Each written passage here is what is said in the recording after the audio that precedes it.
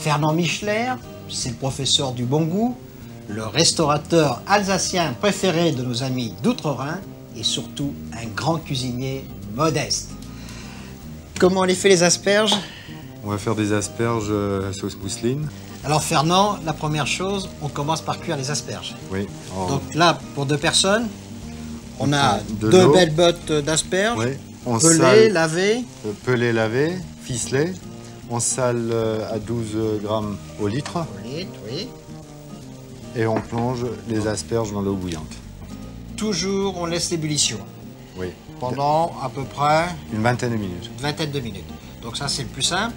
Et pendant que les asperges cuisent, On va faire la sauce. on prépare la sauce mousseline à ta manière que tu as repris dans un vieux livre de cuisine. C'est ça, oui. Là, il y a deux Je jaunes. les deux jaunes, je mélange directement avec euh, la crème. Alors combien de crème Il y a un décilitre de crème, deux jaunes d'œufs, Donc on a pris une casserole pour servir de bain-marie. de bain-marie.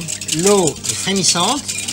Je mets la crème et les jaunes et je rajoute tout de suite le beurre 125 grammes de Ouais. beurre, bien froid, coupé en petits morceaux. en petits morceaux et on monte le tout ensemble, tout doucement. C'est la sauce mousseline la plus simple que je connaisse. La précaution qu'il faut prendre, la crème et le beurre bien froid. Bien froid. Donc là, on peut mettre, quand ça a commencé à bien mousser, on peut mettre un peu plus chaud, que là, on va arriver à l'eau presque frémissante. Donc là, on le fait à la main, mais si on a un fouet électrique, c'est très bien aussi. Hein. Ça va Ah, c'est encore plus facile. tout aussi pratique.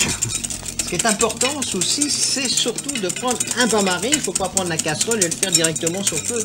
Même une sauce bernaise, même une sauce hollandaise classique, c'est toujours plus facile de la monter Au bain-marie. Donc quand la sauce épaissit, La sale, un peu de poivre, du moulin et puis jus de citron. donc ce qu'on peut faire quand même pour mettre dans la casserole, on met de l'eau à bouillir.